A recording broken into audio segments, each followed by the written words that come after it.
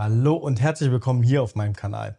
Heute geht es natürlich wieder um AppSheet und zwar möchte ich euch eine Funktion vorstellen, die, wie ich finde, sehr wichtig ist und sehr häufig genutzt wird. Zumindest benutze ich sie sehr häufig. Und aufgrund dessen ist es mir das auch wert, darüber ein Video zu machen, weil man die fast ständig oder ich zumindest fast ständig anwende. Es geht natürlich um die Concatenate-Funktion, also die Verketten-Funktion, wo man halt einfach Textelemente oder Textpassagen verketten kann.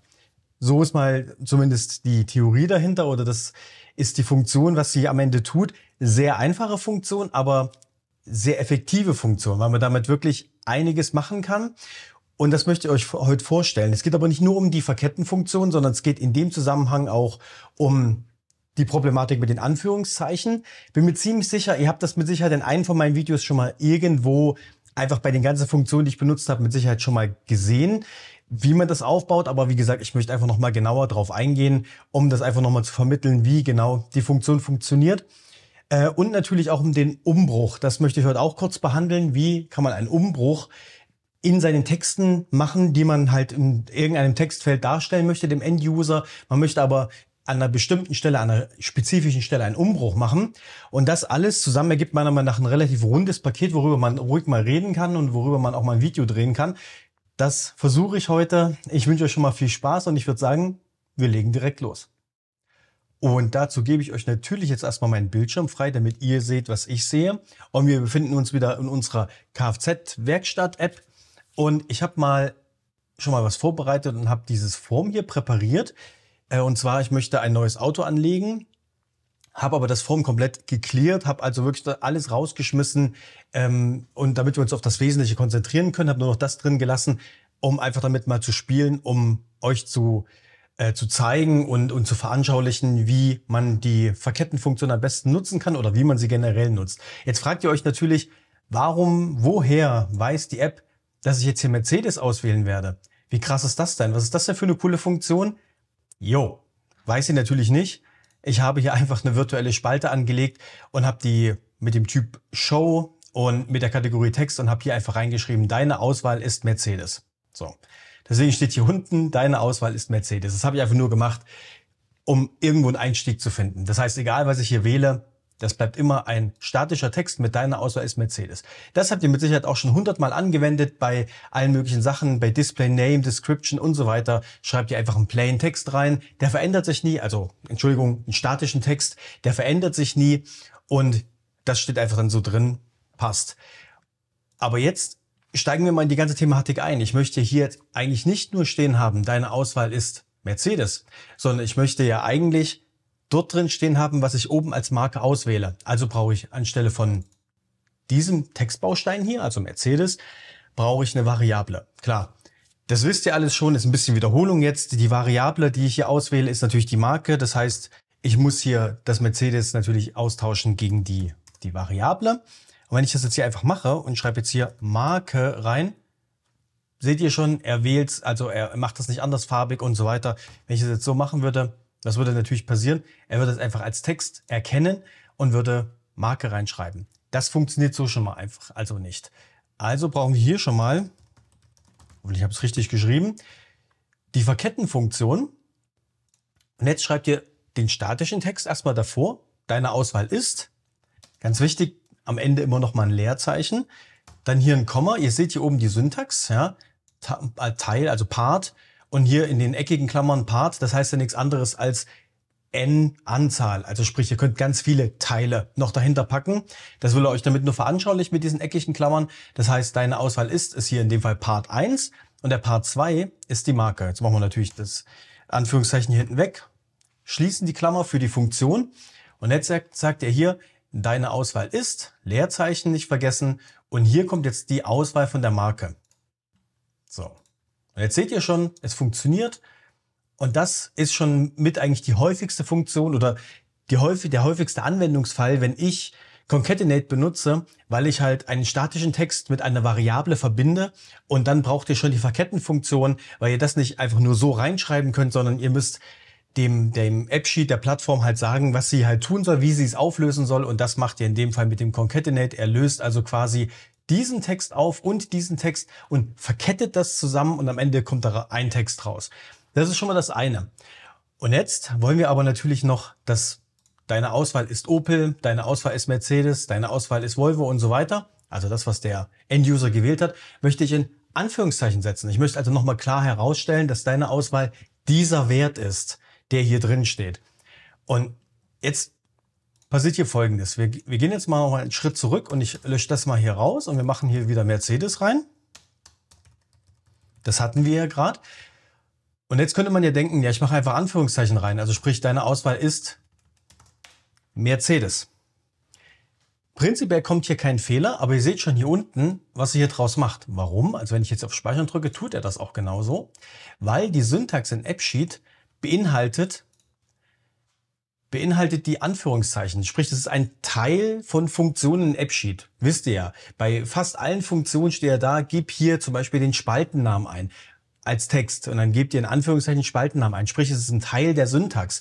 Und das heißt, dass er Folgendes macht. Er löst es hier halt auf, aber nur bis dahin, weil er sagt, vorne ist ein Anführungszeichen, dann kommt ein Text, weil ich ja mit einem Anführungszeichen starte, und dann kommt ein Anführungszeichen als Ende. And that's it danach hört er halt einfach auf, um einfach auch Fehler zu vermeiden, bricht er halt quasi einfach der Stelle ab und der Rest wird einfach ignoriert.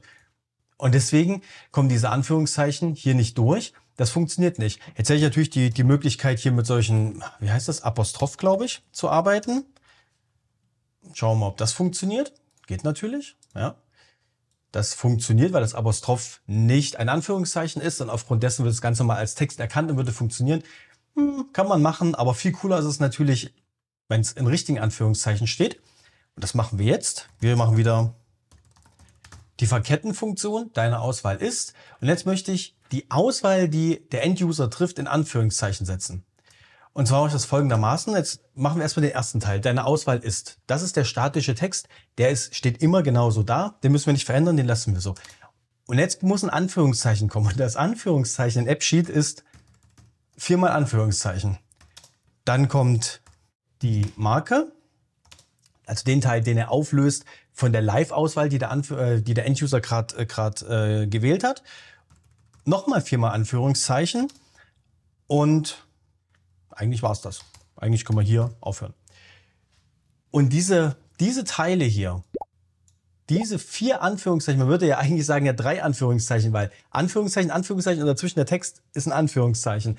Aber so funktioniert es nicht. Sondern man muss vier Anführungszeichen am Stück machen, aber als Teil des Verkettenbefehls.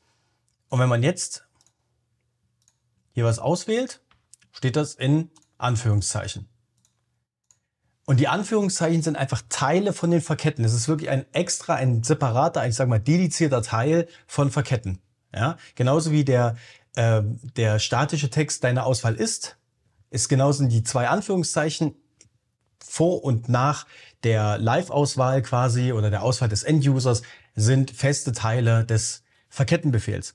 Und so könnt ihr ähm, Anführungszeichen setzen in Texten und könnt es halt wirklich nochmal hervorheben, dass das wirklich die Auswahl ist.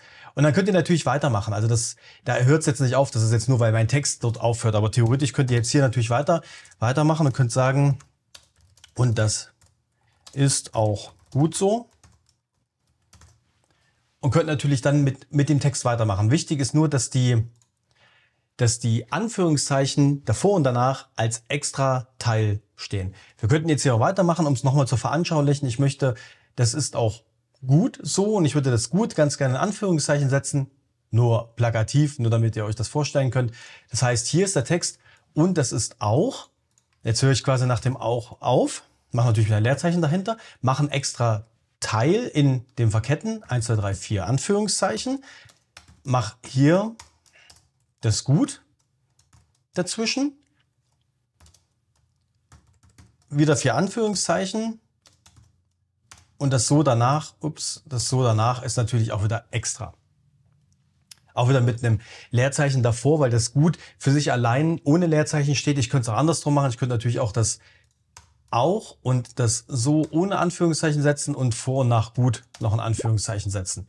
Würde genauso gehen. Wichtig ist hier halt wieder die zwei Teile, die als extra Teil in den Verketten stehen und zu einem Anführungszeichen führen. Jetzt passen natürlich die Anführungszeichen hier, weil ich ja das gut getrennt habe, also weil ich da Anf äh, Leerzeichen reingemacht habe. Also war schon richtig, wie ich es vorher gemacht habe. Ich möchte natürlich das gut mit den Anführungszeichen direkt dran. Das heißt, ähm, bei so und auch muss noch ein Anführungszeichen hin. Und jetzt sieht's gut aus. Und genauso benutzt ihr Anführungszeichen in euren Texten und das geht überall. Ihr müsst halt einfach nur mit dem Verkettenbefehl arbeiten. Selbst wenn ihr einen äh, statischen Text habt, also einen Text, der, der sich nicht verändert, aber ihr möchtet trotzdem in dem statischen Text irgendwo Anführungszeichen verwenden, dann verwendet ihr den Verkettenbefehl, schreibt euren statischen Text und trennt dieses eine Wort, was ihr in Anführungszeichen setzen wollt, ab und macht davor und dahinter einfach diese vier Anführungszeichen, was quasi einem Anführungszeichen, also was als ein Anführungszeichen aufgelöst wird. Da haben wir das schon mal. Kommen wir jetzt noch zu dem äh, Punkt mit den, äh, mit den Umbrüchen. Wo kann ich also Umbrüche verwenden? Das machen wir jetzt als nächstes. Denn ihr standet bestimmt auch schon mal vor dem Problem, dass ihr an einer bestimmten Stelle im Text einfach einen Umbruch machen wolltet, weil ihr gesagt habt, da hört zum Beispiel ein Satz auf und da fängt ein neuer Satz an oder am Ende kommt noch sowas wie fortfahren oder, oder bestätigen oder wie auch immer. Das wollt ihr einfach extra getrennt in einer neuen Zeile haben. Und Umbrüche ist jetzt ganz, nicht ganz so trivial, wenn man aus einer Zeit kommt äh, von Excel, dann weiß man noch, dass es ähm, eine Funktion gab, nee, eine Formel gab, die hieß Zeichen, äh, beziehungsweise auf Englisch Char. Und das gleiche gibt's auch bei Google, da gibt's ja auch, soweit ich weiß, Char heißt die, glaube ich, oder CHR. Und da kann man dann zum Beispiel eine, eine, Zahl reinschreiben einfach und die Zahl wird dann interpretiert als ein bestimmtes Symbol, also als ein Textsymbol. Und da gab's auch, ich glaube, Zeichen 10 war das immer äh, ein Umbruch. Also Char 10, also die Zahl 10, führte zu einem Umbruch in einem Text. Total verrückt. Und hier ist es ein bisschen einfacher. Es gibt in dem Sinne kein, ich gebe euch mal den Bildschirm wieder frei, es gibt in dem Sinne kein, ähm, kein Char-Befehl oder ein Zeichenbefehl oder ein Umbruchbefehl oder wie auch immer, sondern ihr macht das in eurem Text. Einfach als Umbruch. Wichtig ist, das funktioniert nur, wenn es Longtext ist. Das ist nämlich der große Unterschied zwischen Longtext und Text. Text ist eine Zeile. Text ist immer nur eine Zeile. Umbrüche werden schlicht und ergreifend ignoriert. Das heißt, wenn ihr sowas habt wie hier bei Display Name, hier steht Text. Das heißt, das ist ein Text. Wenn ihr hier Umbrüche reinbaut, passiert einfach mal nichts. Die werden einfach ignoriert. Die, es wird einfach hintereinander geschrieben. Das hier wiederum, die Description, ist ein Longtext. Hier sind Umbrüche erlaubt bzw. werden nicht ignoriert. Und wenn ich jetzt hier reingehe, das ist hier ist ja auch ein Longtext, das heißt Umbrüche sind prinzipiell erlaubt. Und ich würde ganz gern das Gut nicht nur in Anführungszeichen haben, sondern auch, dass es extra für sich steht, in einer extra Zeile. Das heißt, ihr könnt hier einfach mit Enter eure Zeilenumbrüche tatsächlich einfach reinschreiben. Das sieht jetzt natürlich ein bisschen weird aus, ja, weil ich natürlich an einer schwachsinnigen Stelle Umbrüche gemacht habe, aber darum geht's nicht. Ich wollte euch damit nur zeigen, dass bei Longtext könnt ihr einfach Umbrüche in euren Text einfach schlicht und ergreifend reinschreiben. Das funktioniert natürlich auch mit statischem Text. Das, dazu braucht ihr nicht zwangsläufig den Verkettenbefehl. Wenn ich jetzt das hier mal wieder alles wegmache und hier einfach Mercedes reinschreibe, oder schreiben wir mal Volvo rein. So, deine Auswahl ist Volvo. Dann sieht es wieder ganz normal aus, eine Zeile. Und wenn ich jetzt hierher gehe und sage, aber Volvo soll in einer Extrazeile stehen, dann mache ich einfach hier einen Umbruch rein. Da seht ihr auch hier vorne, dass jetzt hier zwei Zeilen quasi da sind in eurem Code.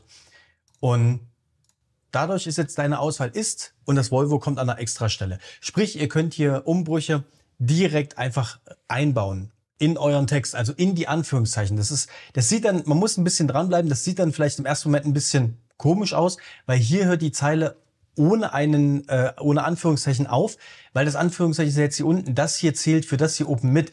Das heißt, es ist völlig egal. Ich kann hier auch äh, alles Mögliche reinbauen an, an Umbrüchen. Das hier oben, der erste, das erste Anführungszeichen und das äh, letzte Anführungszeichen hier unten, die zählen. So, jetzt sieht's halt so aus. Ne? Ihr, ihr baut dann halt in die Höhe quasi.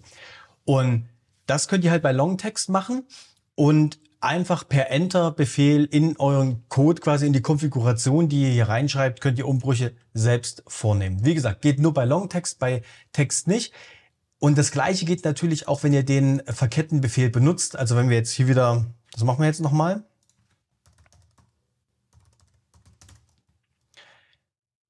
Wir machen hier deine Auswahl ist und hier hinten schreiben wir natürlich dann wieder die Marke rein also die Live-Auswahl quasi. Und wir machen jetzt natürlich unsere Anführungszeichen wieder rein. Also hier vier Stück, hier vier Anführungszeichen.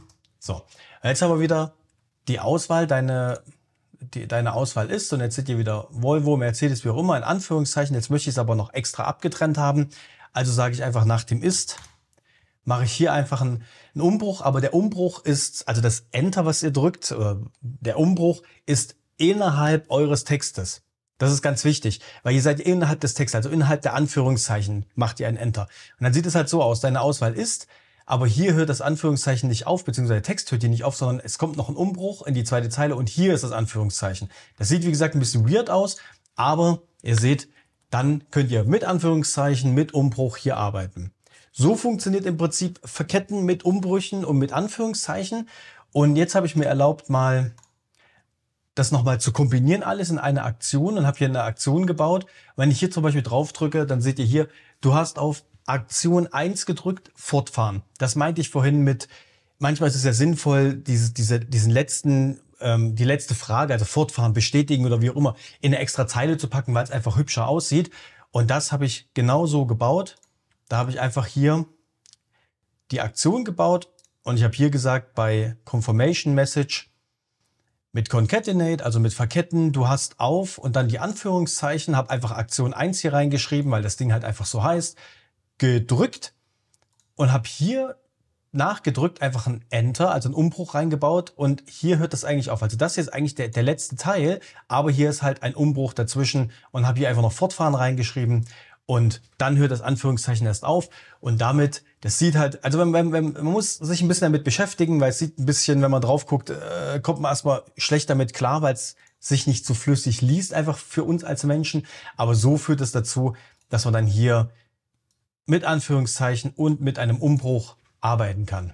Das ist das ganze Geheimnis dahinter und ich benutze es extrem häufig und deswegen fand ich das so, so sinnvoll, das einfach nochmal als extra Video zu machen, weil ich finde, das ist unglaublich wichtig, weil man dadurch einfach einen Text ein bisschen strukturieren kann, ein bisschen strukturiert anzeigen lassen kann, was wiederum den Endbenutzer stark hilft, meiner Meinung nach. So, das soll es dann für heute gewesen sein. Ich hoffe, es hat euch gefallen und hat euch wieder ein paar Tipps oder ich konnte euch wieder ein paar Tipps vermitteln, hat euch geholfen und führt dazu, dass ihr das eine oder andere vielleicht nochmal umbaut und sagt, hey, ich kann den Text ja noch viel cooler anzeigen.